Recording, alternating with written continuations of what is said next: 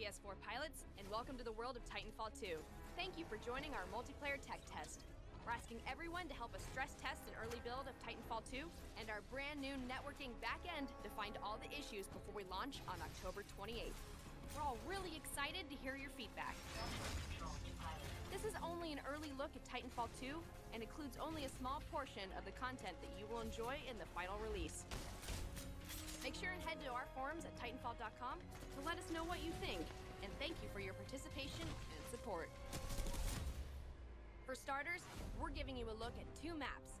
Welcome to the dense urban streets of Boomtown and the open fields of Homestead. Each poses unique opportunities and challenges for both Pilot and Titan gameplay.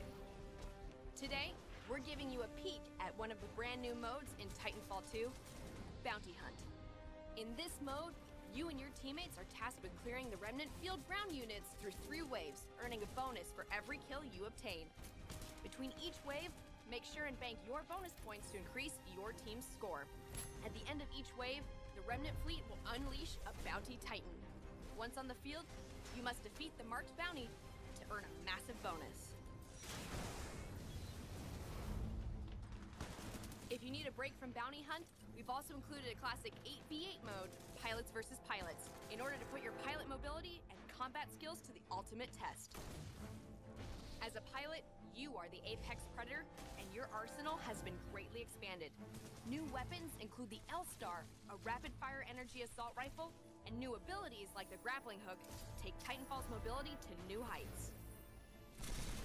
This is just a sample of what you'll have access to and as you progress and level up, new weapons and abilities will unlock to further expand the gameplay opportunities. So make sure to customize your loadouts and see what works best for you. And of course, we're letting you try out some of the brand new Titans. In Titanfall 2, each Titan now has their own unique personality, signature style, and exclusive core ability that needs to be earned plus special weapon and set of skills that differ dramatically from the other Titans on the field. In this tech test, you'll get a chance to try out Scorch, a fire expert who controls battlefield positioning with his powerful thermite, and Ion, a power and energy specialist with the ultimate core power, her massive chest-fired laser beam.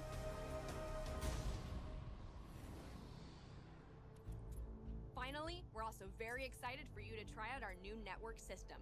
Networks provide a friendly place to hang out between matches and truly elevates Titanfall 2's social game. You'll be placed in a default network to start, but you can join others that better suit your social or gameplay style. Or if nothing feels like the perfect fit, you can create your own network for you and your friends. Well, that covers everything you need to know.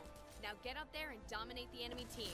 But most importantly, have fun and make sure to check out everything Titanfall 2 has to offer when we launch on October 28th, including our brand new single player campaign.